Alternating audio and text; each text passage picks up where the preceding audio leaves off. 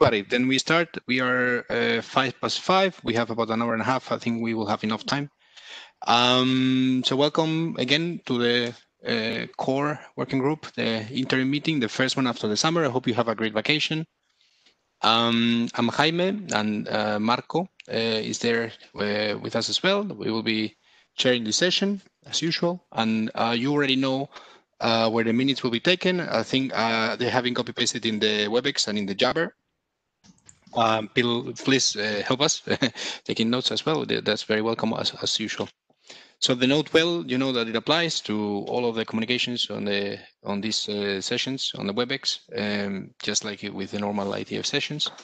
So you know it guides our our, our practices, and you know it's also about uh, not so much so not only about the IPR or or other legal uh, items, but also about the general behavior. So try to be nice to each other. I think that's it. There is no more slides here. Um, the topics we have, the main topic for this interim, as you know, is the resource directory. I don't know if everybody has had a look at the discussions. I have tried, but there is actually plenty of material which uh, Christian has uh, very nicely and, and generously uh, compiled in the repository. If you go to the core GitHub repository, uh, where you go to the resource directory, and uh, you have the point-to-point -point responses marked down, which is very detailed and contains all, all has been discussed. There is about one, two, three, four, five, I don't know, like a, a, dozen issues in the tracker as well. But uh, at least I would recommend to go first to the Markdown. Um, Christian, um, do you have uh, slides for the presentation, or how, how do you want to so, do this session? Okay, uh, so the, the, way I would like to go about this um, is to go through a mixture of um, issues that have been aggregated from the um, from the comments and the comments themselves. Um, now I I would like to say I have been, but actually I'm I'm there. There is about four left, so I'll I hope I won't miss anything important there. Uh, I have been sorting them in basically by the the level of feedback that I would hope to get from, or the importance of feedback that I would like to get from the working group.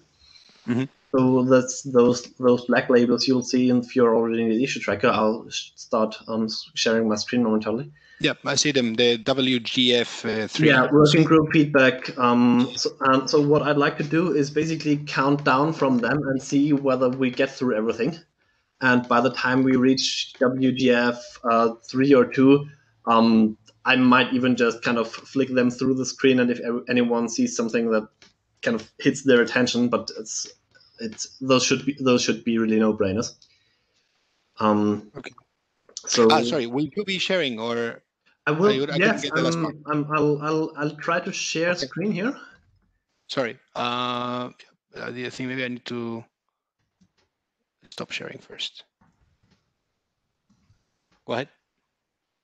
Um, hang on a second, please.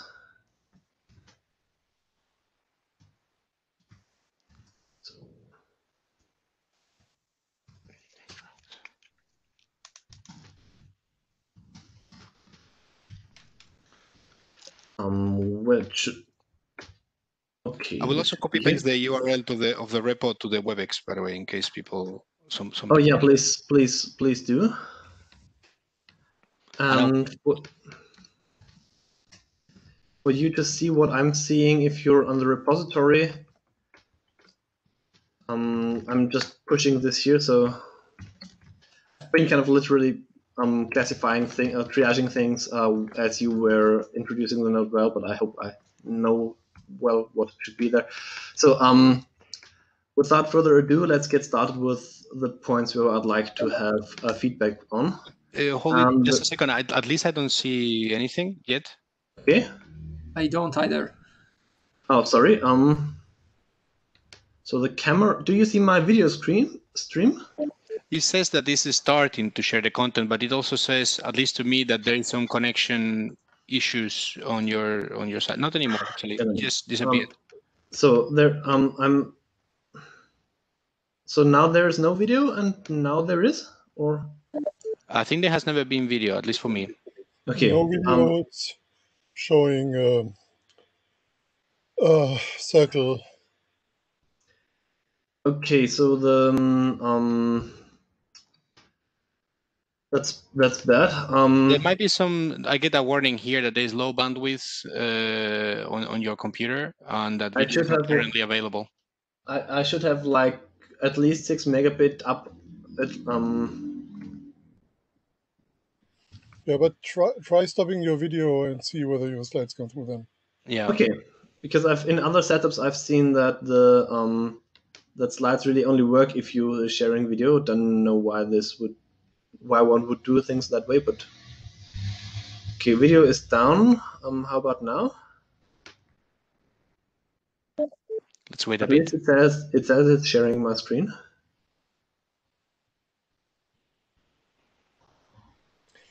WebEx is uh, telling me that I'm viewing your screen, but your screen is wide.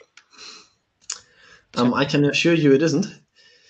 Um, In the meanwhile, I can show mine or someone else can if you want.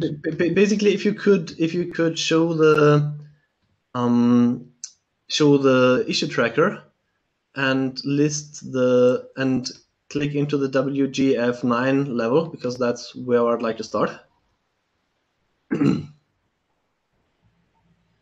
But I'm, I'll, I'll, I'll, I'll try reconnecting here once. If that doesn't work, um, we'll fall back to me asking someone else to share. Sounds good. Um, I'll be right back.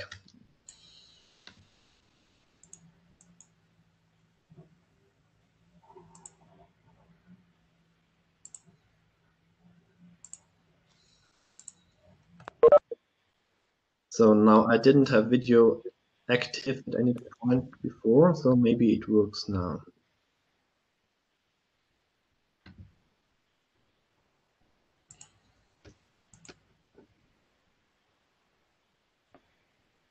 Uh, still doesn't look like it. Okay, so um, Jaime, can you or, or one of one of the chairs be my, be my person? No problem. Okay. Um, so let's start with the one that is marked um, WGF9. That's the fallback or default security model. Click in there, please. And once more. Um, so one of the, the feedback points, and we've already talked about this, I think, at the at the IETF proper or the, the, the last interim, not sure, um, is that we should have at least something that we can recommend people to implement in the resource directory as a security policy because we are introducing that there could be could be any, but that seems to be a bit too abstract for for people to work from. So the one um, the two contenders here are the first come first serve model and the endpoint names. So the endpoint names would be basically what Lightweight M2M is doing. Um, if you could scroll down to the end, last comment. So that's I unfortunately I haven't managed and maybe zoom in a bit or make the screen wider. I don't know. Um, so the um, what I what I would like to put in there, and it would if if anyone has suggestions of how to do it differently, it would be helpful to have them now. Other other than when I've finished the text, would be um, basically this. Um, so the RD remembers who registered for an end, who registered with a particular endpoint name, and for depending on what the credentials are on the client side, um, this would be remembered by some of the some, by by an identifier derived from those credentials, and we'd have to spell out for each and every way of uh, way of authentication how this would be done. So if DTLS is used without any client authentication, then the registration could only be accessed from that very DTLS connection or possibly a resumed session. If there's a self-signed certificate, that's good. That's kept as a um, as the identifier for that name. Again, until that that registration expires. If the registration expires, um, everything is fair game again. The resource directory might remember for some time, but it doesn't need to. Um, and if a client comes back and says that sees that their preferred name is taken, this is about random um, names anyway, so they can just come up with a new one if it turns out to fail. Um, if there's a um, certificate chain, there could be even a bit more persistence for clients that come up again after having renewed their certificate, but it's not really essential. Um, for Lake, with RPKs or certificates, it could work basically the same way.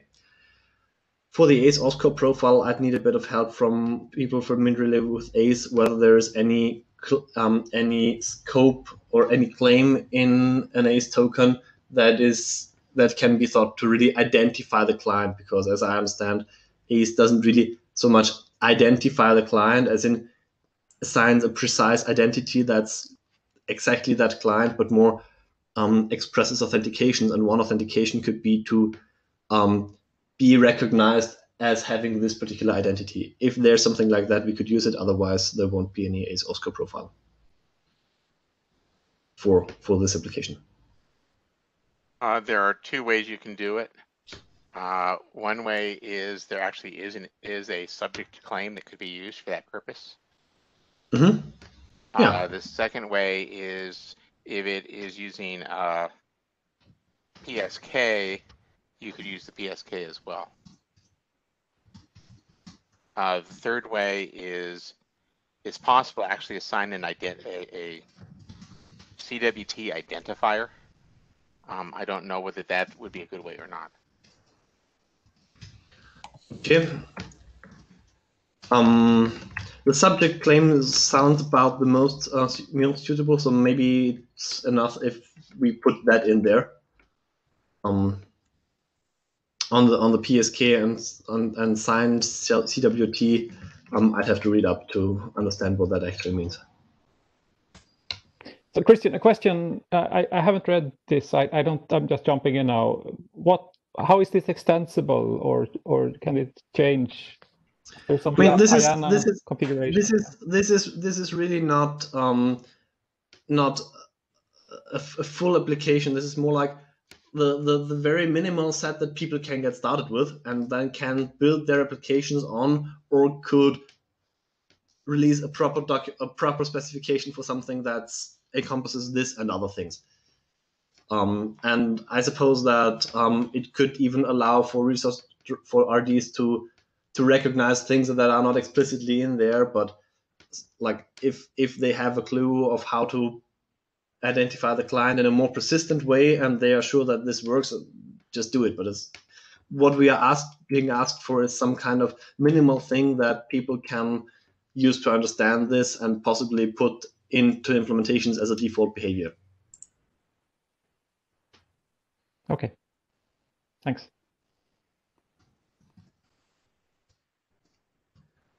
Um, I don't think that we have any other item on the issue tracker with feedback level 9, so I'd go to the um, Reimer, please switch to the um, to the uh, point-to-point -point response document.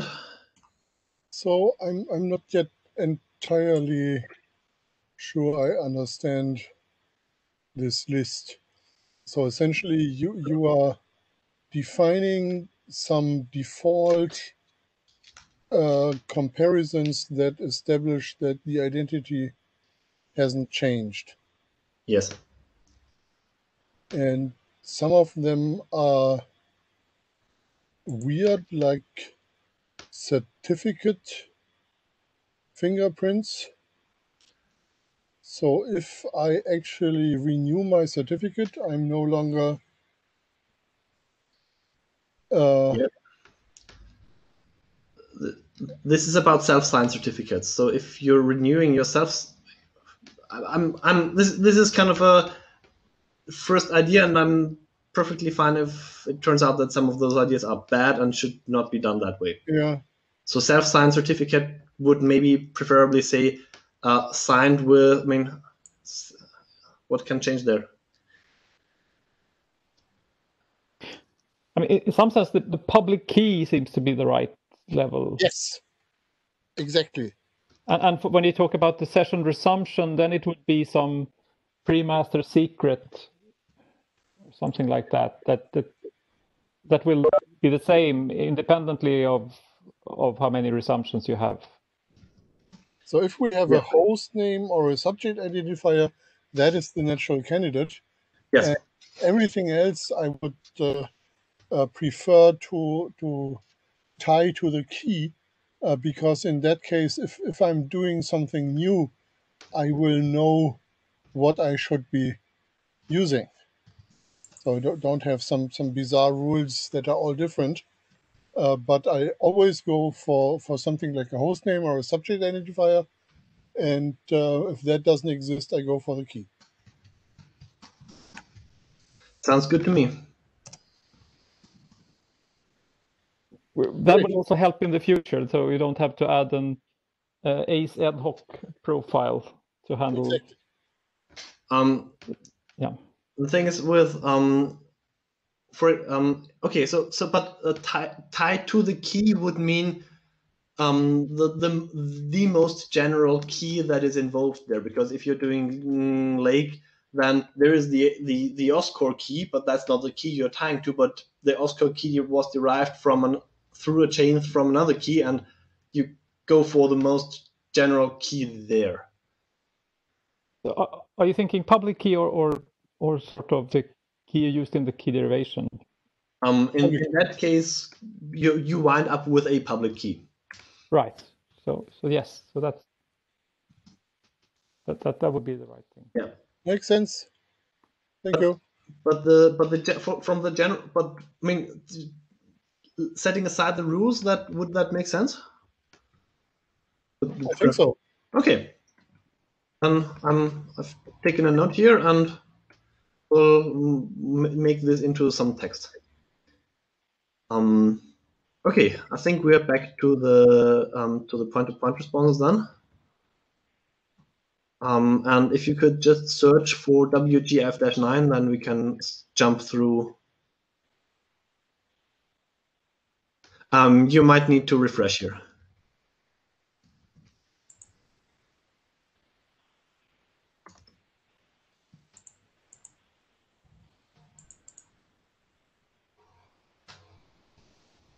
Um, apologies. Um, no? Nine is this default security model.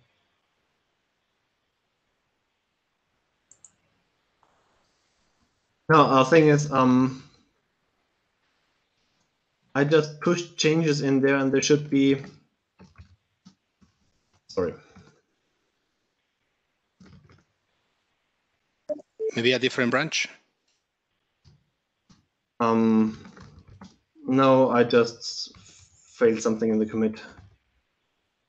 Then, in the meanwhile, I can ask. Uh, can I ask uh, others uh, a stupid question? So just to make sure, like what we are doing is that uh, when the RD remembers some information about the device, it will not be tied in any way to the IP address, just in No. case the IP mapping uh, changes, right? No, not to the IP Okay. address. And, and when we say remember things, is that, for instance, if uh, the, the in the case of Lightweight M2M, there is a lot of observations preset, so those can be mm, migrated to the new device, or I don't know the term if it is migrated or something else, but like Sure. those would be the kind of thing that is remembered, right? Um, no, those observations would be. I mean, Well, that's, that's, that's different application thing. level thing. That's that's, diff- that's completely different things.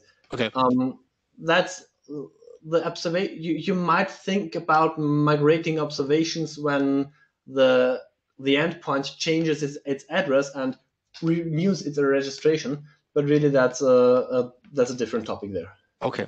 Okay. Uh, fine. So the new branch should be up there now. So refresh should give you the. Yes. Okay, so WGF um, nine, please. Next one.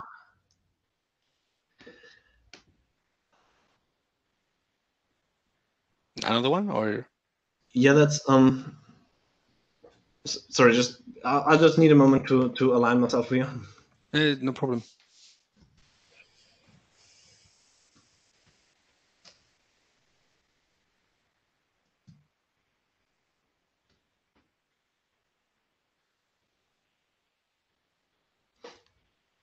Okay, yeah, this is this is uh, this is something. Uh, so I've brought this up um, earlier with a with a mail in a different form.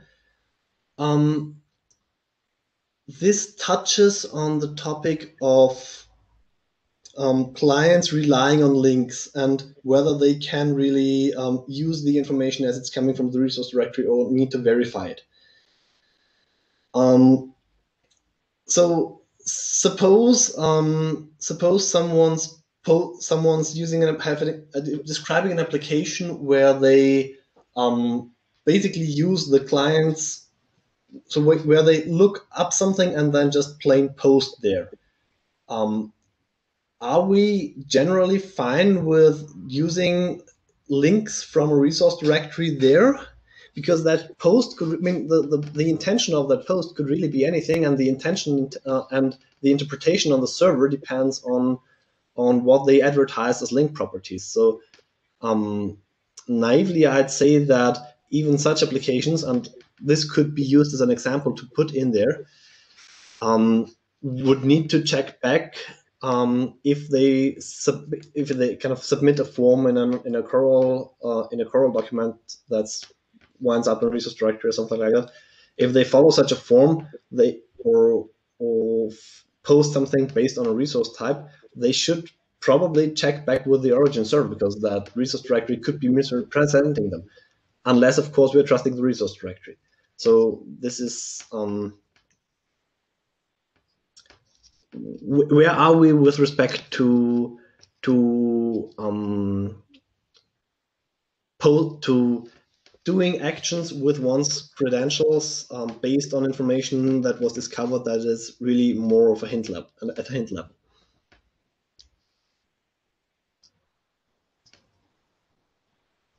I don't understand. Um, and I just see that you're seeing something different than I see. So I've been rambling on about a point that is not this one.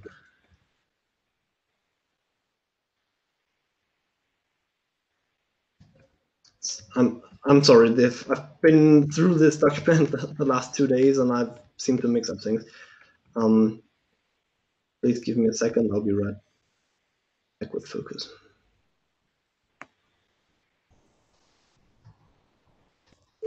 I only see the two uh, WGF uh, dash nine yeah items. So. so so that's that's the that's the one that I was talking about.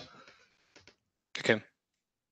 Um. So the the the quest the question that's being posed here is, um. When when an application is developed, how much should the developers lean towards not trusting the res- not requiring a trusted resource directory and thus asking the application to verify everything they got from the RD from the origin server as far as it affects the semantics of the requests that will later be sent versus um, just relying on a trusted RD and specifying that the RD must only contain content um, that can later be acted on e e um, even if that means that the RD will effectively gain the privil- gain the privileges of the well-known core resources of every um, device around.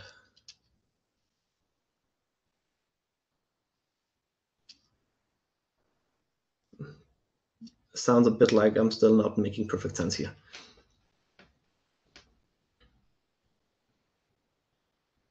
I think I think we are just going through the. We are still probably all of us reading this part. Yeah. That yeah. Is, the is this part that you're talking about, right? Yeah. The highlighted yeah. part. Yeah. Okay.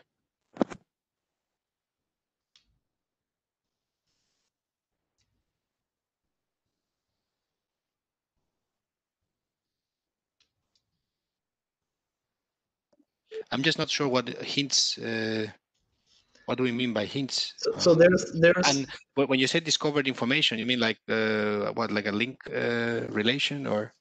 Primarily target attributes. So the target attributes. Yeah. the target attributes that are kind of the the archetypical um, hint level information are things like content format or uh, like the accepted content format.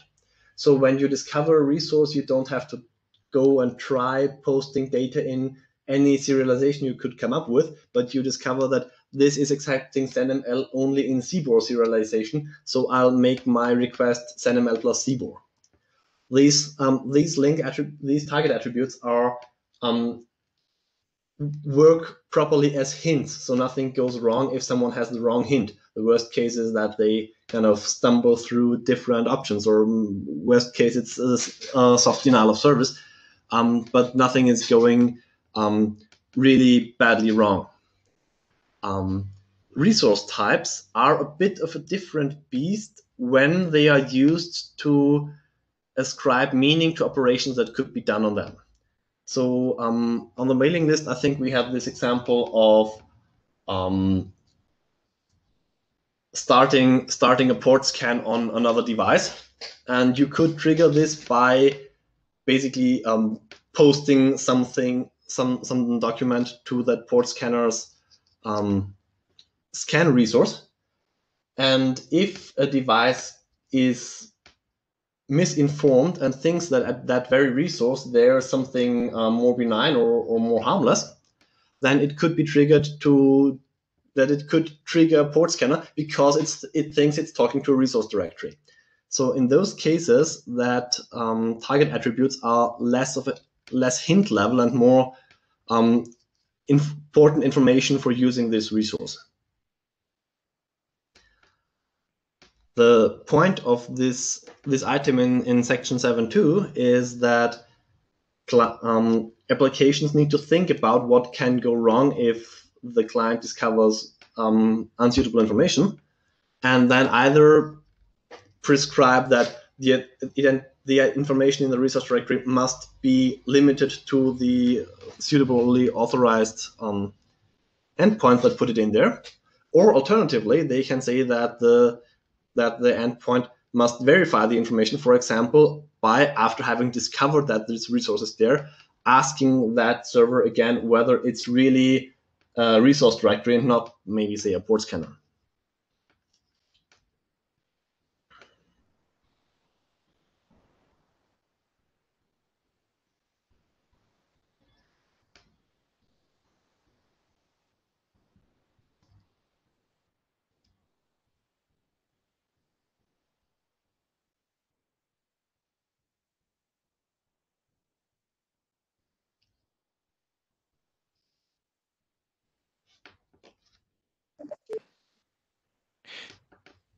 I don't know if any, nobody's commenting anything, but um, I my first uh, feeling about it is that maybe we are specifying too much on the RD. Is this something that is really, really about the RD uh, interfaces?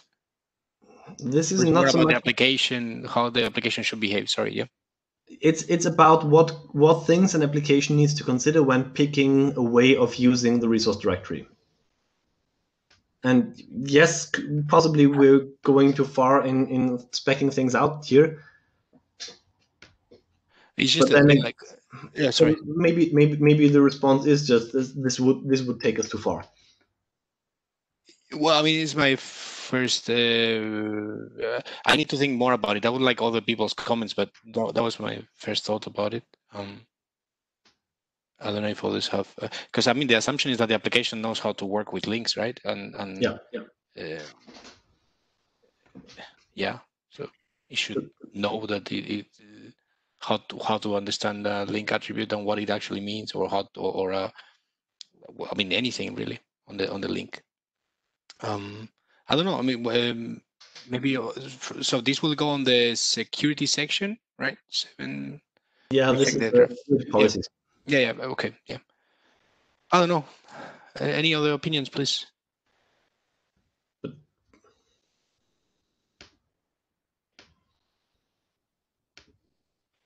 So th th there are several things that come to mind here.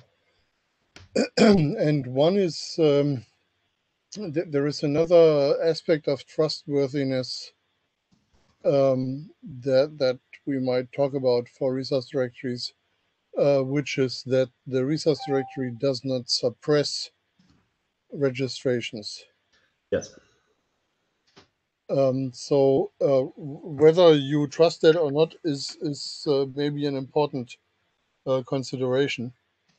And for the veracity of the uh, registrations, um, another important question is um, trust implies liability. So um, how can the uh, resource directory be sure that uh, what it got, what, what it is presenting, is actually the truth? That I think we can solve. Because for, for that particular point, um, the, the rules would come into play where the RD is only accepting registrations for um, about um, or accepting statements about links that the registrant is actually um, authorized to act as the authority server of. So the credentials that are presented to the RD must be as good as they would need to be to just get a to do a get on there via via CoAP in a, for especially in a PKI setting. That's a good restriction. Because I mean, because with the uh, when you register from other endpoints, uh, I mean, you, you you don't know who is the owner of that uh, URI or that domain. That has been a problem also in other scenarios. That's no, that's that's that's one of the link one of the policies that we describe as could that might be applicable. So is this for the default security model or is it for No. all security models? This is um, this is general guidance on when to apply this particular security model. So security model 7.2 is about entered resources. And this is precisely about, this is um, describing to implementers when this uh, security policy would be relevant. Ah. So if you rely on information to be um, authoritative, if you want to rely on information from the RD to be authoritative about the resources that are the context of those links or the targets possibly, um, then you need to specify that in your security policies and the RD must only accept registrations that contain data that is um, that is from that uh, certified origin.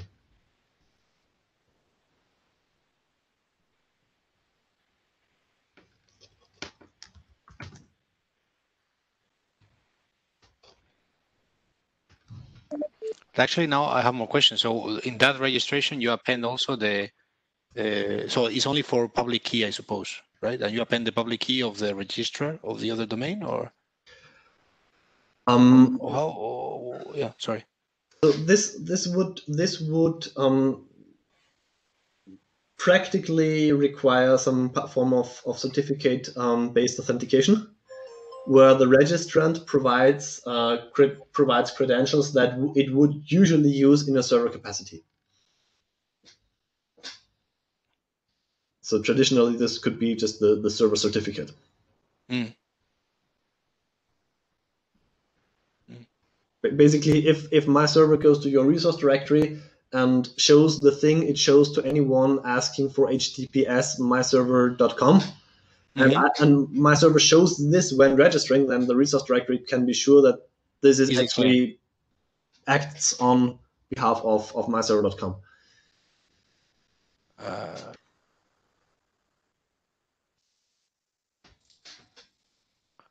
so it's not a certificate, but something signed with the certificate, right? Um, it's yeah, it's present. It's it's the, the certificate becomes part of the of the link setup.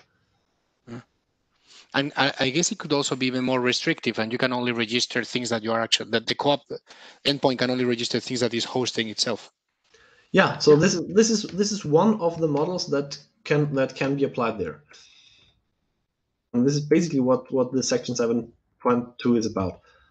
And the, the, the real question at hand is just how much do we how much basically how much do we have to spell all this out um, to people that might be that consider implementing it.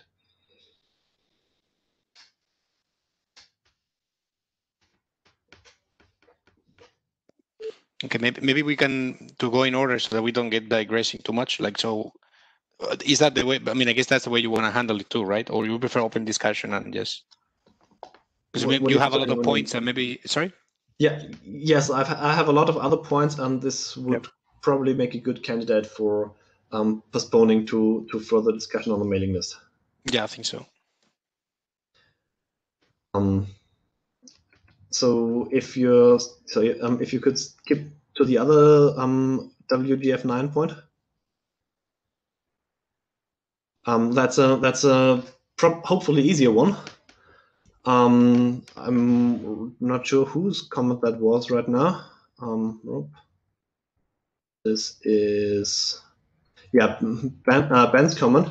Uh, he's not really happy with the basic, basically with us um, assigning additional behavior to an existing well-known resource.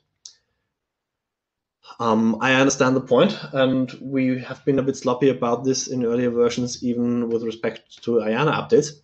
So my first question here is: um, Are we aware of any implementations that that are out in the wild that post to that do simple registration and do that on well-known core as opposed to say a newly minted well-known RD?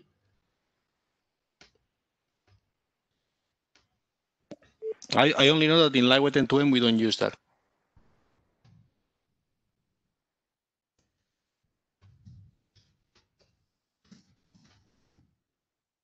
So basic, basically, the two options here are um, yes, go with it, or give him at least any reason why we are doing this here and not in a newly minted one.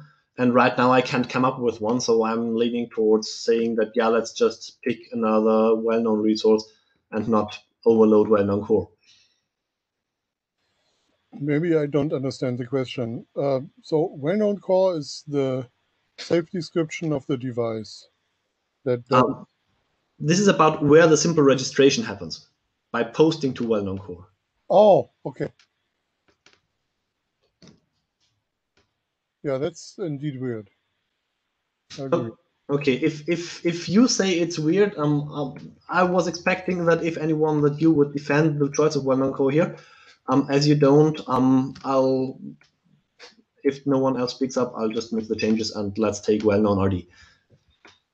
Yeah, I would probably add a note that uh, previous versions of this document used well-known core for this, and implementations may want to do what they need to do.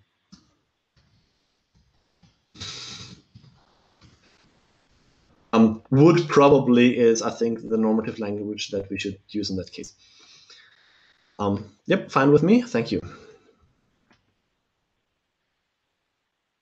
Um, so on level eight, so let's stick with that document, just go for eight.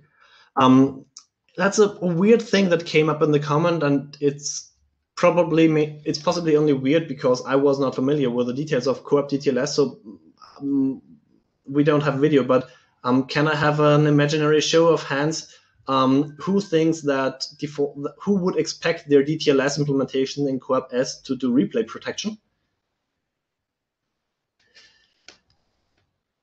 Um, so Re I was replay protection of what? Of previously seen messages. Oh, definitely. So um, I looked it up, and in DTLS it's optional. And CoAP uh, and RFC 7252 doesn't say anything about that it's mandatory to use in this connections context. So um, I was a bit taken aback when I read that comment and found out that he's perfectly right, and that if we are describing this application as securely usable over CoAP S, we should um, say something about why it's okay, which is basically that every operation except those particular ones, in which case you should, um, are long-term idempotent anyway, so um, replays won't have any ill effect. And yes, um, the ending a registration is something that could be replayed. So the alternatives to that would be to say that CoAP servers that run a resource directory must have replay protection in CoAP as enabled. And the third option would be to come up with a um, very um, quick update to CoAP to say that, hey, if you're using CoAP over DTLS, then turn on your replay protection or else. Um, preferences?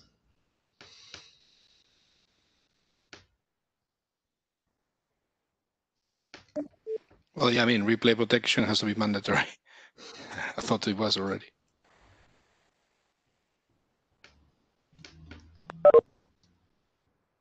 I mean, I, I could have been wrong, and this is all a no issue because I missed some update to the DTLS specification, but that's at least what's what it says in general. Is there anything in 7925?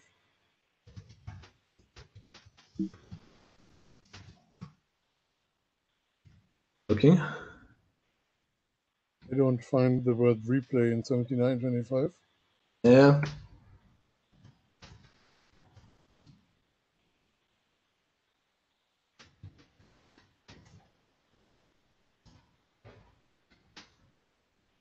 I, there's two two times it appears and it's not for reply protection, as far as I know. You say 7925? Yes. There's no, there's no mandatory replay protection in 7925.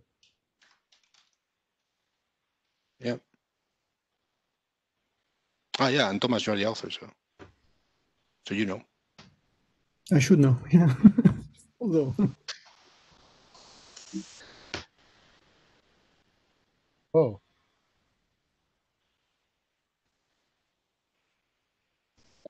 Well, then maybe we we just, as Christian, as you suggested, like we just make sure that there is some text there commenting that and uh, forcing DTLS to use replay protection. So we'll just say it there in RD and then hope that it gets picked up in the cooperative. And what I understood from you is that the the replay protection is optional, right? Not that it's Yes. not present. It's op- it's optional, yes, but um, that means that no one can rely on it unless they.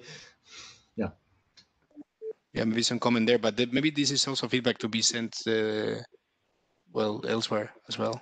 Um, Thomas is already here. Maybe you, Thomas, can, can check that. I don't know if there is any room for any update of all the drafts. yeah, yeah, sure. So next, Okay, or um, other comments?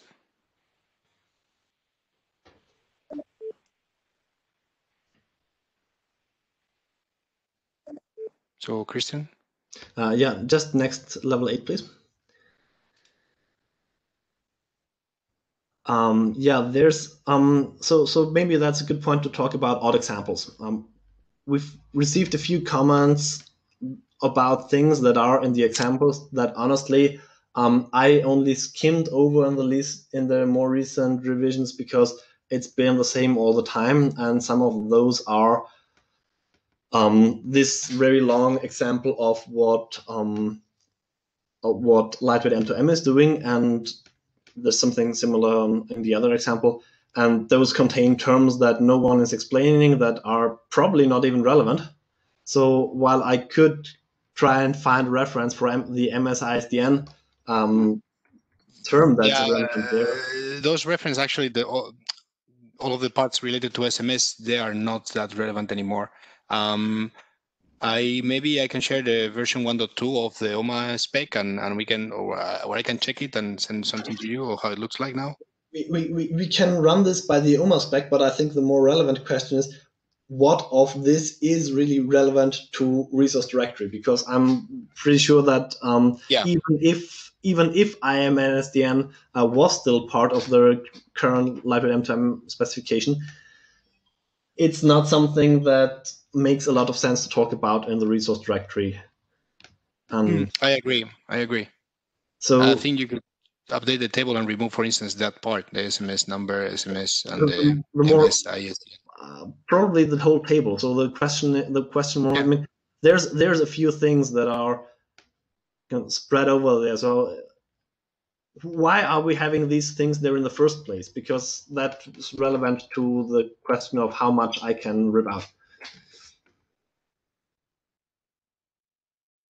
Well, I mean, mm, so as again, to my knowledge, because I don't know the whole CoAP ecosystem out there, but to my knowledge, uh, Lightweight M2M Fox are using Resource Directory or at least some flavor of it, uh, even if it is just the registration interface, and that's what is on the text at the moment, from what I can see, just the uh, registration interface for OMA version 1.0.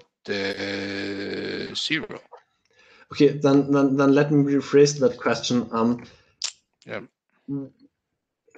Why don't we just say that OMA lightweight M2M is using these and those parts of the resource directory um, in Appendix 10.2 and possibly illustrate a request and response? We currently don't, and and be done Hmm. with it because we're talking here about this object Yeah, yeah, model I that has agree. a- so yeah all, all of these So yeah I want to it's true explain it. actually you have the stuff there's stuff on the object IDs and base URI resource. I think that could create confusion to the people that are only interested on the resource directory. If they want to know about the Lightweight M2M registration, they can go to the Lightweight M2M spec. I, I tend to agree with that. But I don't know who wrote that uh, anymore. Do you? Um, I have a hunch that if I run git blame on the um, on on the current version, it will show that I think it it's has Michael, been- maybe. it has always been there before this thing even has been put into Git. Yeah, but then maybe Zach himself. I don't know. But yeah, I agree on the point raised there. What does the group think? Well, there is very little point in, in enumerating those additional registration parameters without explaining what they mean.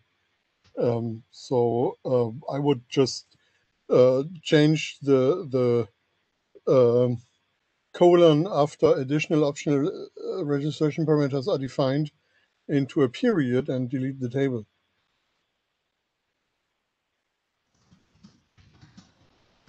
Um, and what about? I mean, we didn't receive a precise complaint about the object model thing, but does it? I mean, then again, we don't have anything to act on here, so yeah.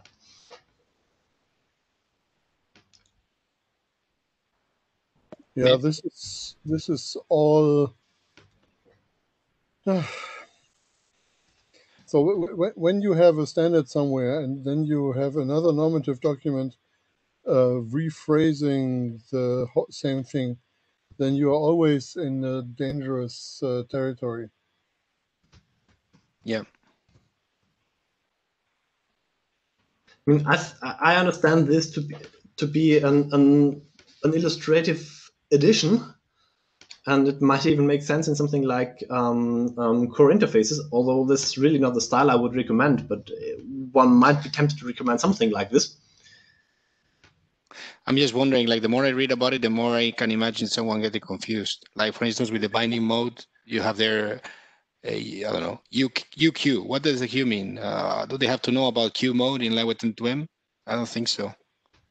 Mm, uh, we have in the call, I think, uh, Thomas, you, you also joined the OMA every now and then, maybe. Or No, not really. not really? No. Okay. Because I'm I'm hesitant to just remove the whole thing. Uh, that's a bit um, maybe a bit too much. Maybe we, we could just specify something at the beginning, saying that this is just an example of how Lightweight M2M does it. That this is not something illustrative of how resource directory should work. Uh, what do you think? What does what does everybody think?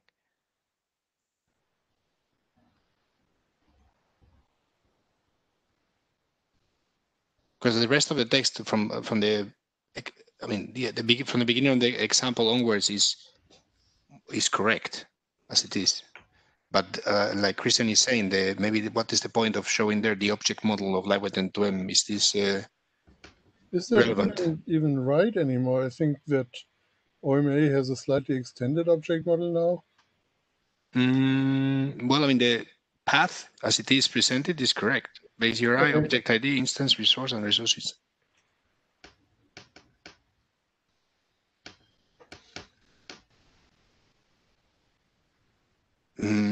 but anyway, I mean, things may So wh- change in the future, wh- of course. Where is where is the actual example?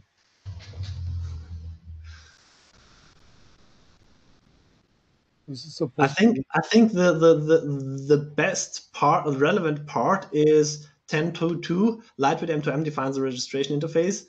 Um, the registration URI is specified as slash RD. That's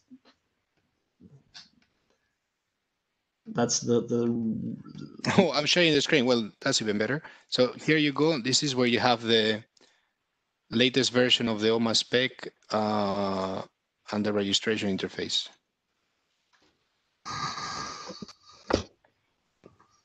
And this is the example.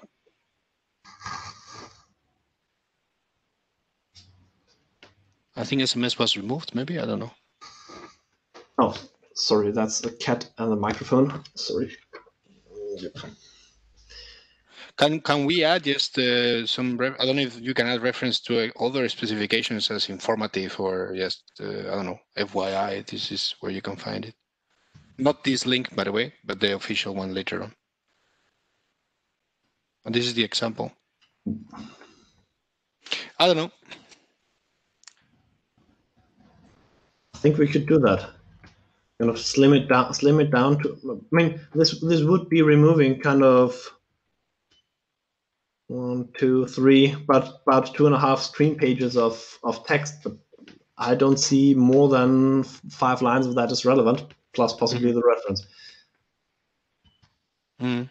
Yeah, so I would delete the entire section 10.2 and in the introduction to 10, just say that an example can be found in the lightweight M2M document XYZ.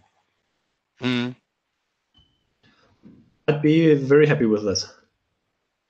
I think that that's much, much safer and much more stable. Yeah.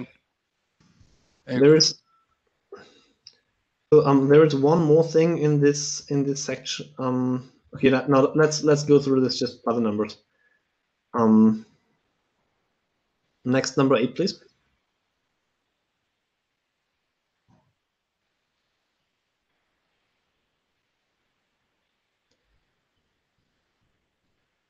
Um, yeah, um, I put this at this high level because I'm just not too familiar with all the 6man and um, um, neighbor discovery thing. Um, would it be okay to just update the text to say that the RDA is always in router announcements? Because every commenter that came back to this seemed to think that it should be the way, but it's just said it's just not said anywhere.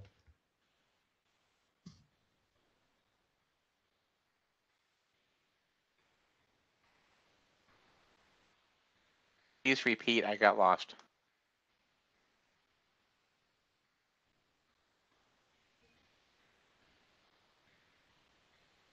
Um, got lost where?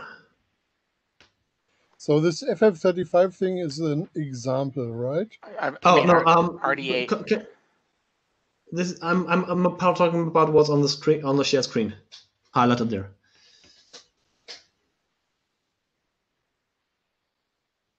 Oh. Okay, I read this the other way around.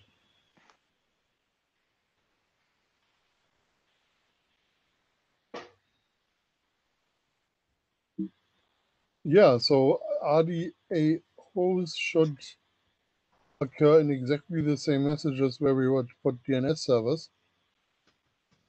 Uh, so let's check where we can put in DNS servers. Okay, I, I can I can I can do I can act on this. I think.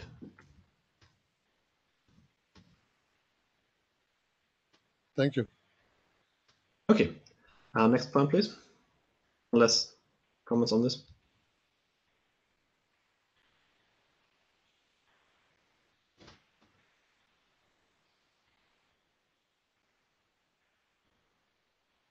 Um, yep, the top one on Sleepy Nodes. Um, oh, just just pick any that hasn't been addressed before. No, sorry, just uh, let me know uh, which one. Pick pick any that hasn't been addressed before. Just Okay, I'll just go to the next in the row. There you go. Okay. Um, so I don't know a lot about stateless configuration and DHCP.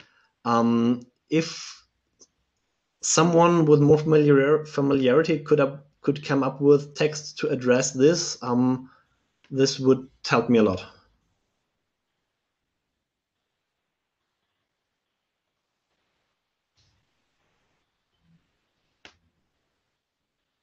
I think the, the whole point is that um, in, in the bullet list on page 16, um,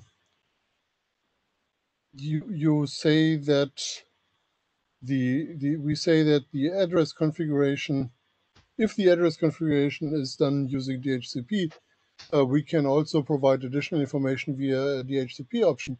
And the comment is, is pointing out that we can supply DHCP options even if we do the address configuration using SLAAC.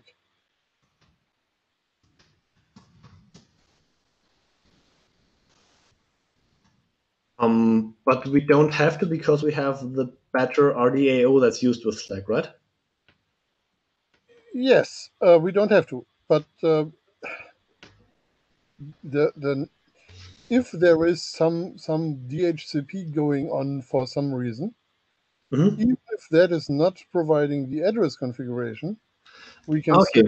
to supply the DHCP option, and that's a V6 thing. V4 cannot do that, as far as I know. Mhm. So it would be an additional source. So, so basically, the text is right, but it just should not just be. It should not be limited to if the address configuration is performed, but if when the DHCP is used. Yes, or is in use, I probably would say. Yes. Right. That's then that should be an easy fix. Thank you. So the next one we already had. So um, wrap around, please.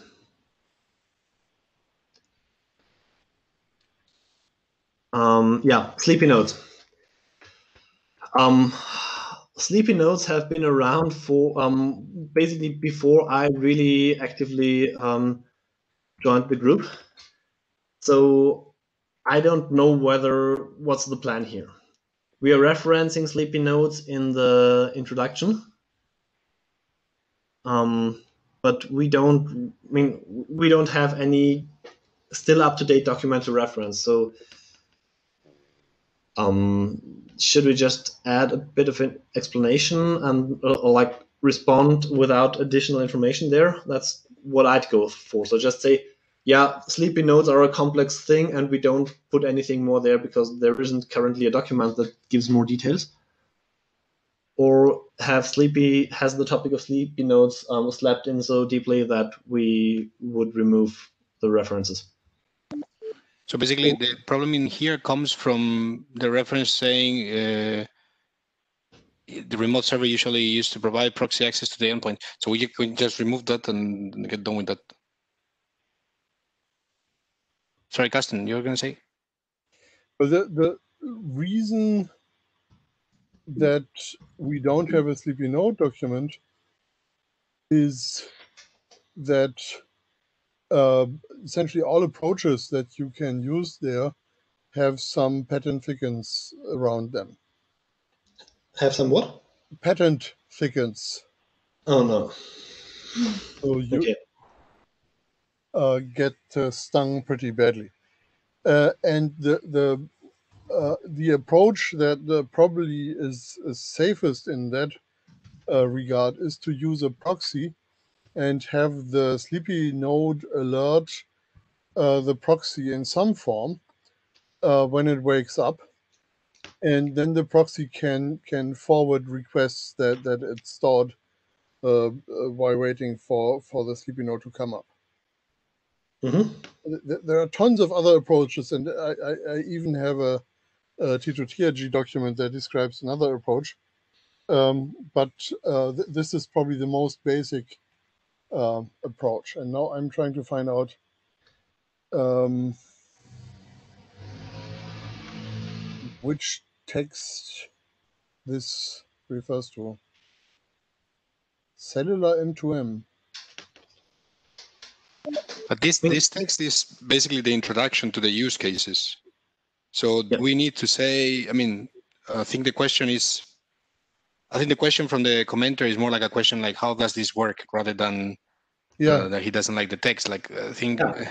So if if we could add there some reference, basically if any if any of the sleepy Nodes document were still active, I would just add a reference, for example, as described in. Now they've been um, they've run out of steam around 2014, the latest. At least the ones with sleepy in the title, that I could easily find. So the, the, the problem is that the actual documents that people have written all were trying to get some uh, existing patent claim in as an essential uh, component. Okay.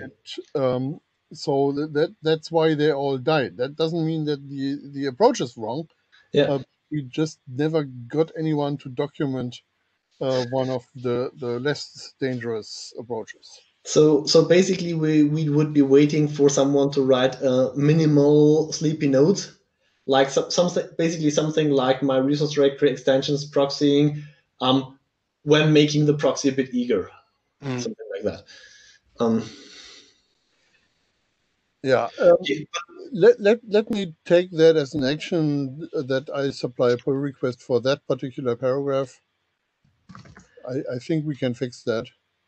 Can, can we just, ref- I mean, maybe phrase that in some different way in which basically the proxy is, uh, or the, the, the, the middle entity is just uh, providing, I don't know, cache uh, resource representations or something like that? I mean that that that is a proxy. Well, yeah, but the, yeah, so I, I think I think even the text is is. I is think because I think that's what I think that's what he's asking. Like, because I think he's uh, the the the comment is about uh, how can you provide access to an endpoint that is not connected, and maybe what we need to clarify is that we are not providing access to the endpoint, but to the latest resource representation stored somewhere.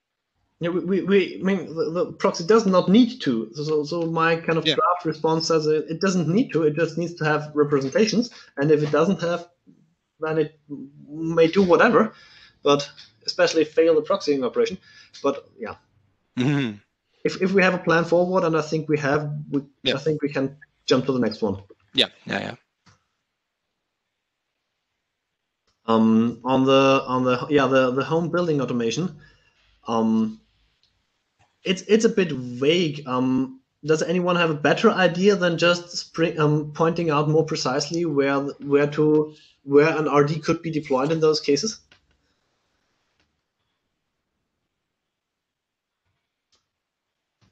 So in the again from my own limited uh, knowledge, I know that one of the the IKEA Trådfri was using uh, lightweight M2M, and therefore it was using some resource directory, and that could be one example. I don't know if Zigbee dot dot uh, uses CoAP. I think it used to, but I don't know if it uses RD or CoAP anymore. Maybe other people more familiar with OCF, with other SDOs or other real life scenarios can provide more info. If not, maybe some vision on how it could be. For in this is the for the case of home. I don't know where actually this is very broad because it's home and building automation, so it's pretty big. Yes, that Maybe some someone from Philips on the Philips Lighting or something like that. I don't know.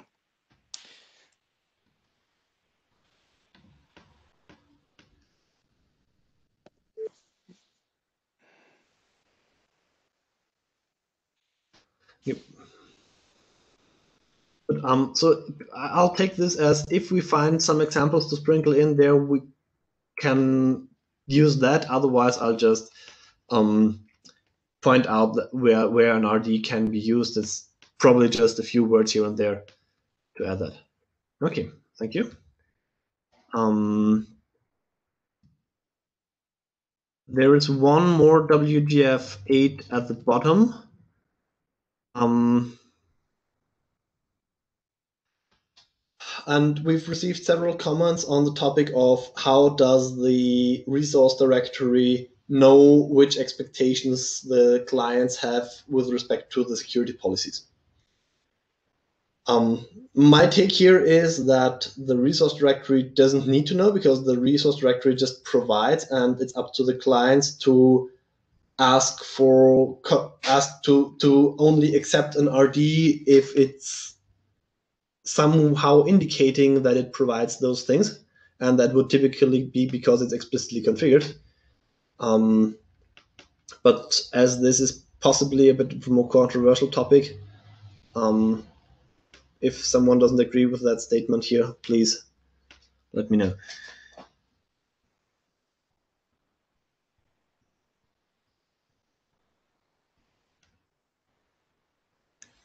Yeah, that that's a classical authorization uh, problem. So I cannot really trust anything until uh, it, it's authorized uh, for being trusted. And uh, the the source of that authorization, uh, of course, is not not defined here. Um, so the, the the fact that uh, we can authenticate an RD in in some way doesn't tell us what it is useful for. And uh, the, the thing itself saying what it is useful for is, is not really useful. We need some some uh, third party, some trusted third party announcement uh, what what it is useful for. But we also don't don't provide a defined way to do that. That would be ACE or an ACE token or something like that.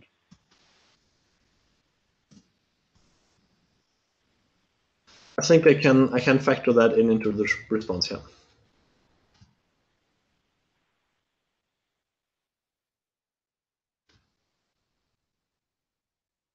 Um, there's one more point at this level, but I don't understand the question yet well enough to ask meaningful stuff. So I I'll briefly check whether we have anything on the issue tracker at level seven, at level eight, and otherwise, please um, jump to level seven.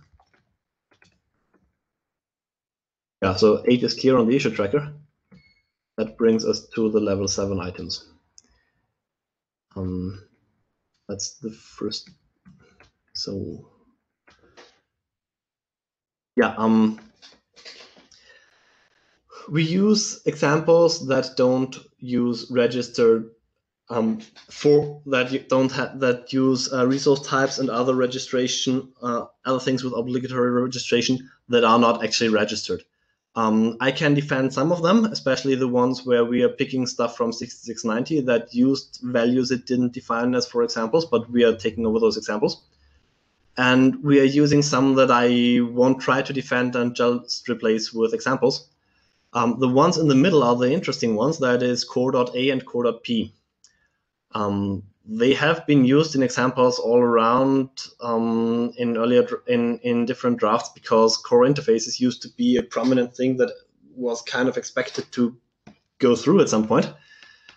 Um, I don't think that this future is clear enough that it justifies having those code points here, but then again, it limits the recognizability of the examples.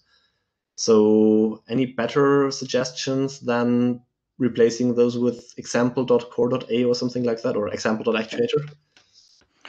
Well, another comment on if the examples have to be real, do we have the U equals uh, Kelvin, for example, the unit as a so that's that's complete. That's completely fine because those are target attributes, and those target attributes are not generally re ah, registered. Oh, okay, okay, okay. Um, only for the registered ones. There, there, I can there there I can advertise any possible any, any, things that I would like to see as I see fit. Um, okay. At, at least from a from a from a registration point of view. Well, I mean, if, if you can put more realistic examples, I don't see why not. It's just I, can't, I can't put more realistic examples. I just can put examples that don't look like code points of cutting. Mm. Yeah. Any any other thoughts?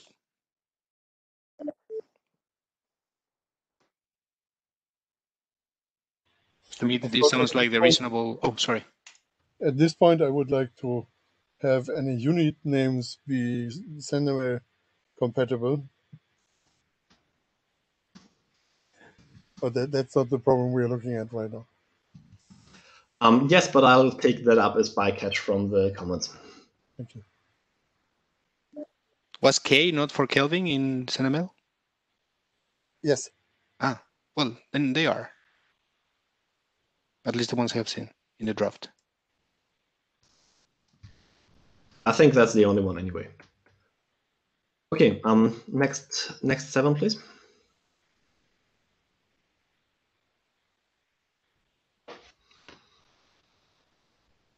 Yeah, um, it's not so much a question, but more of a point. Um, there appears to be a, a more broad document on URIs that can be used to that, that are kind of bearer tokens, I'd say. Yes. And I'm just stressing that those URIs that we are ha we're having here are not, and it's supposed to be that way. Yep. Okay. Next item, please. Um, Christian, have you checked that document? Is something relevant that we should check as well? Just to um, no, um, so, so I only checked it to understand what they mean, and they mean URIs as bearer tokens. And mm-hmm. my, my claim is that we intentionally do not do this.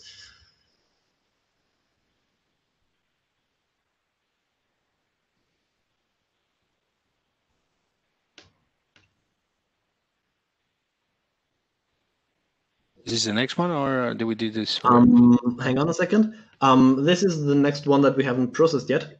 Yeah. Um, I think I have a good response in saying that do we support networks that don't support multicast well means that they don't support it efficiently or conveniently, or there might not at all, or there might be any other reason why they don't support it well. Um, but I'm not the big expert there, so if there's anything better to say, it would be helpful. I might also add that the sequence, the, the ranking I did here, I'm, I'm, I'm, I won't try to defend the, the sequence of priorities here. It's just something that hopefully allows us to go through the important parts uh, without while skipping the obviously unimportant ones. Okay, next, please.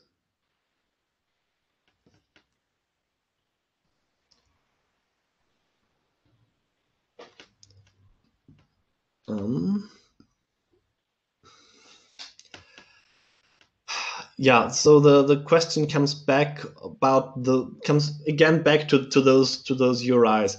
Um we are exposing them we even though they are not helpful. Um i think of the so this is especially in the in the endpoint lookup.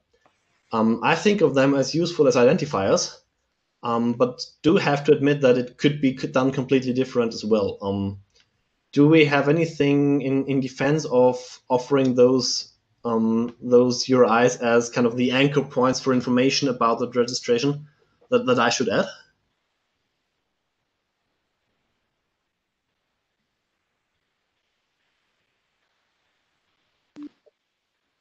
um, reading the question, so the endpoint does expose.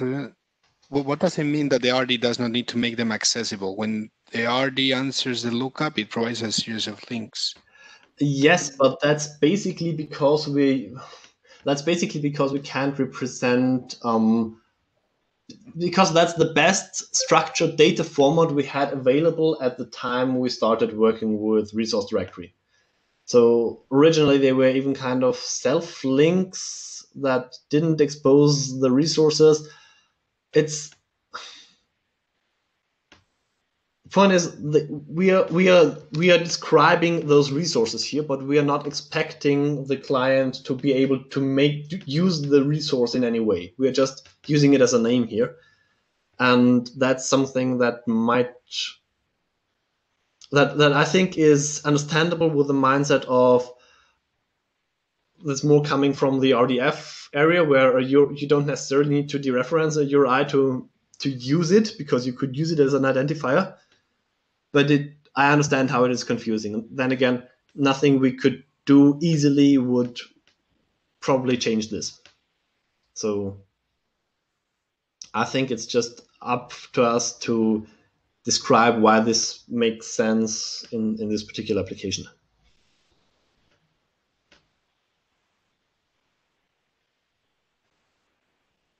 So maybe to, to, to explain this also with the last paragraph here, um, if we did a resource directory, for example, in CoRAL, the RD might choose not to tell the you tell the names of the registration resources, but just say that there is a resource and that has these in those properties.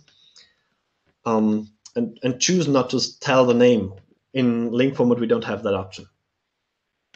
So do, do we have an information disclosure problem here? Um, possibly if um, if the if the names are are come if the RD comes up with the names in a way that is neither random nor deterministic from the endpoint for from the visible attributes, um, then we might have an information disclosure problem. Um, so maybe we should give a bit of guidance to the RD what they better not put into the URIs, however they shape it, so that they don't create this this information disclosure. Yeah, that sounds good to me. Yep.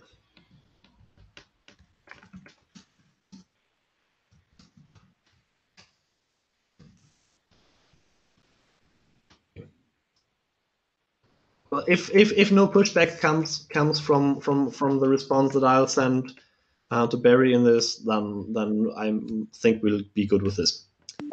So, um, is, by the way, there is this use case uh, link catalogs. I wonder if we shouldn't also put a comment there. Is Um, the part where the resources may be shared through data brokers and blah blah blah. I think there will there is one point on on that in in the the comments to come. That is, um, but but the link catalog is more about registered links, isn't it? That's the link catalog is about sharing resources and not sharing the endpoint Uh, registrations. Um, I don't know. It says um, there is also web link web link, web link references also there. Um, Yeah, but I think this all Sure. pertains to, Okay. to resources that are registered at the RD and not the resources that the RD creates by itself on itself. oh yeah, after on the lookup. Yeah, true, true, true, true. It's not exactly the same thing. Yes, yes, yes. Okay. I think we'll we, we might manage to go through the, the level seven in the time allocated. So those are hopefully the, the most important ones. Um so next next item, please. Yeah. Um this is this is one of the of the other parts where there are examples in there that are a bit odd.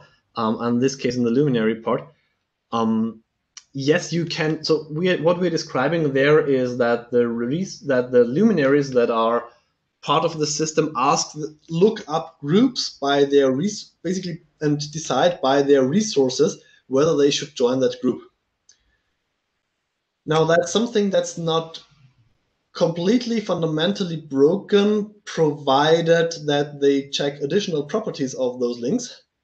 But it's not really something that i would recommend and put in the examples that we even though we don't explicitly say this is how it should be done i mean if it's in the example section of an of a document then uh, this kind of speaks a bit. Um, and this was asked about explicitly. Now, whether this is really what is going on here, and I'll take this as an opportunity to ask whether we might not want to remove this part there as well, especially given that there is an, a document that describes things around that area coming up that describes how to do it more properly. Let's say, being the the group um, group discovery. This is also on the examples, right? Yes, this is the example 10.1. Christian, thinking also about that, uh, maybe the text that is intended now in the resource directory document is not really about um, uh, finding out your membership, but the membership you are supposed to have, actually, considering the resources you are trying to export. Yes, but that's a very odd design. Right. So it's not implying any any previous registration of membership. That, that's certainly not true. Yeah, but it's it's implying that the so it's it's designed around a group being registered, and by virtue of you having some links that are in the group, you think that it's good for you to be in that group as well. Yeah. So an expected membership. Provided link equal link name equality means anything. Mhm. Um, May, may I ask, so the sector information is added automatically based on the resource characteristics? Is that what you said, or did I catch it no, wrong? no, sector, sector doesn't come into play here at all. Ah, sorry. Uh, this is this is just a resource. A resource sees a resource directory, looks at the groups that are registered there, and sees that one group is so similar to itself that Yeah. it might just as well um, make itself a part of it. Hmm. With no access whatsoever, no, no restrictions. I mean, this It's a is bit, it's a bit of another example, yeah. Yeah, that's why it's referring to the odd examples uh, text. So my preference here would be to remove that part of the example. The rest is largely good, but this particular piece could be a bit disturbing. Yeah, to be frank, the slash CoAP group, I I just have never used it actually. I don't know how people are using it or what they think about it. Um, it that's the one you're talking about, right? Um, that's Neither. that's, so that's okay. not- yeah, yes, that as well. So um, above there is that part where the end, where the endpoint joins it automatically by having discovered the group, and then alternatively the CT can communicate, and that's by the way, and I didn't notice, and no other reviewer did, but you just did. Um, Mhm. um, that part, by the way, is being ripped out. Uh, is being removed from that experimental RFC and not part of the groupcomm-bis anymore because nobody implemented it. Yeah. Um, so probably those two last parts about it automatically joining the group and about using Direct CoAP ac- group multicast access address configuration. should should, in my opinion, just be removed because they are confusing examples at best. Yeah. What does the group thing? I, I tend to agree as well. I, to be frank, the examples I I only look at the Lewitton terms. So I, I'm not so familiar with the laminary ones.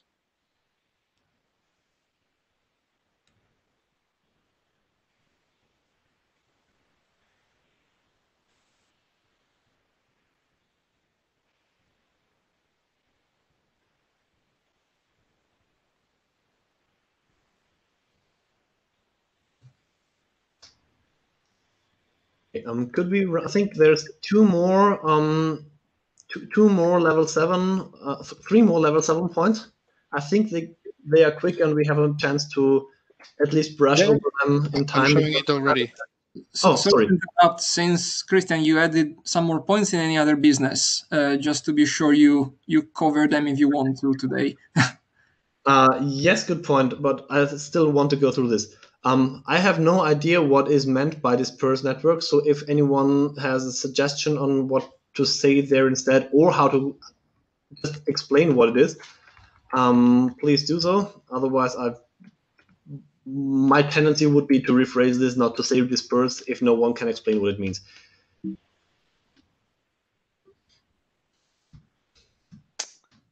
And this is in the abstract. Yes. Yeah. Okay. Um, but I'll take those comments happily by, mail just as well. Yeah. Um, next point, please. Uh, yeah. Um, Okay. Oh yes, yes. I I updated. Yes, yes. okay. Thank you. Next point, please. I updated it a bit. By the way, I haven't finished updating it yet. But Yeah. yes, I updated um, the the big things that they are I, I know that there's a lot of things going around here. Uh, yeah, and on 6man, um, th- I don't have text here, but basically there was this question about have we talked about this with 6man? And as I understand, we haven't. Um, and I'm not too familiar with the 6man procedure, so I can of course just go over there and send them a mail and ask what, what they think of it. But if anyone around feels more qualified, especially due to prior experience with six man, Yeah. um, I'd appreciate if someone could take this over here.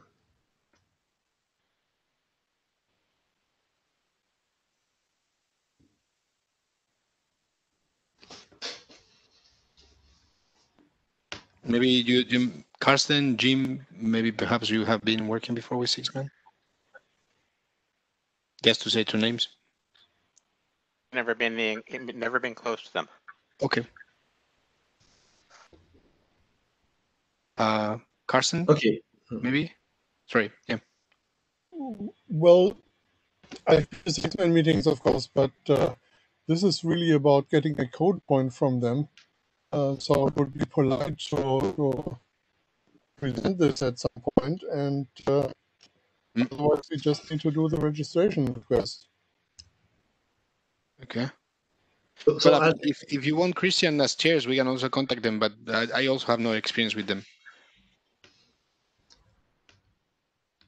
um, so Carsten, by percent, um, by percent, you mean just in a in in a regular IT kind of ask for a slot in their working group meetings? Well, I'll just send a message to the mailing list. I think that's Okay. enough. Okay. Um, then I basically I'll I, I can I can do that and. Um, if anything comes back, it's good. We have something to say to the comment, and at least the experts would be will be alerted that a registration is coming from us. Um, so if I may have some of the remaining minus one and a half minutes, um, I'd like to use the uh, everyone's attention to just point out that because I think it's kind of relevant to the group and I've been asked about it, um, I've started running a few services at coap.amsuess.com. Um, the link is in the minutes. And especially that is running a resource directory that I, for the foreseeable future, um, intend to keep operational. That's roughly working on the first come first serve base, base that basis that will um, that I'm writing the text for.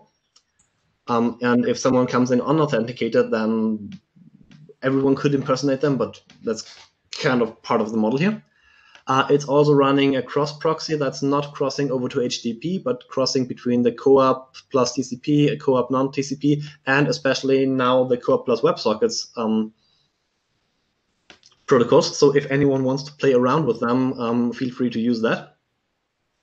And um, also in the minutes, I've linked to a now existing very, very minimal, I'm hoping still still working to get it fleshed out, um, CoAP over WebSockets client and server implementation that can run a few demos so you can um, explore a bit more. Possibly this would also be a good thing to link from coap.me or any of the other things. Just basically my me me hope me hoping to get a bit of feedback from you here because this is some so because having publicly running RDs was something that was requested before. Yeah, and, actually, and actually we didn't find. Remember when we were looking on through Shodan and other tools, we didn't find so many. Um, so I guess you will be. Uh, uh, Carsten is managing coap.technology. I guess a link could be added to this to the tools, right? Yes. Oh, maybe you already did. Actually, I don't know. Um, oh, I, I need to do that. Okay. Just this is, just the first pu public mention of this here, so. Mm. And I think, um, I mean, as I mean, I think this could be very interesting for the mailing list as well, if you want to. Yep, I'll follow up there. Yeah. Um, I will also share it internally, and let's give it a try. Does it accept Lightweight M2M registrations? Um, Perhaps, or some form of. Um, yep. um, it won't accept Lightweight M2M registrations because it doesn't implement the slash RD resource. Um, and especially it has um, it picks paths that might help to expose client misbehavior. Mm. Um, but it's probably a good idea to add in slash rd um, to to add slash rd as kind of a fallback resource. Yeah, good point. Um, I'll add that and then maybe it just works. Mm, thanks. Well, I'll show it around. Thank you. Thanks a lot, Christian. By the way, this session was great. So um, we have we are running way over time, but uh, just to be clear, uh, we we still have seven more um, levels to go through the resource. Six more levels to yes, go through this. I'd say everything below four mm. um, is for people to yeah basically skim over it if something meets your eye that you want to look into. Otherwise, I'll just do what I think is best mm-hmm. um, and merge that up to the point that level zero is literally typos and that stuff. Mm. Um, so if I need, if if I'm really blocked on, if I get blocked on something, um, I'll just mail the list or see or ask people on the issue track. I think um, chairs, are you on the are you automatically mentioned on the issue tracker? Uh, yes, so I've seen I've seen the mention at least, but I just didn't have time to reply. Okay, so basically, I'll I'll use escalation levels from posting into the issue tracker where all the authors are anyway to mentioning mm. chairs up to sending it to the mailing list. Um, mm, to me, I, I prefer issue trackers, so I'm I'm super happy with that. No problem. Yes, but I can't CC the mailing list on the issue tracker. Yeah, yeah, and then we need to CC every now and then, and that's it. Uh, I'm wondering another thing. Do you need? I mean, uh, we have still the other interim. We don't have a list of topics. Another option was to use DynLink uh, some time for DynLink discussion, but we could continue in the next session, in the next interim, and just wrap up all the issues. Um, it, or would you I like? I don't think that all the issues need working group attention. So if you think okay. it's if you think it's something that should happen, I'm I'm uh, fine to I, I, that. But... I would be happy if it is something. I mean, it doesn't have to be long. it could be just a wrap up session, like to okay. make sure yeah, that we have. That. Yeah. Okay. Perfect. And then the rest of the session we can do DynLink. Unless actually I take the time now. If somebody has a suggestion for the next interim, now is a good time to suggest. and if not, I think we can do RD and LinkedIn link.